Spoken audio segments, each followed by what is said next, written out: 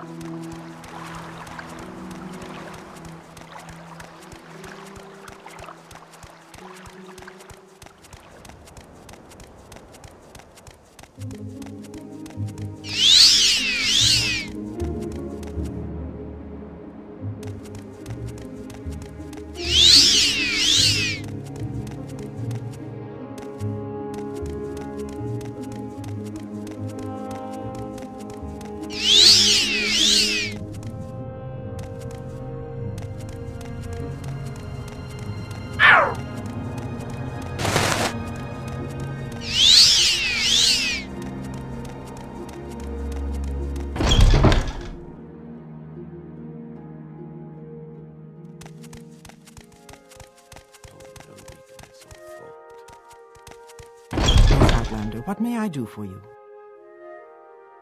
Should you need something, I will be happy to oblige.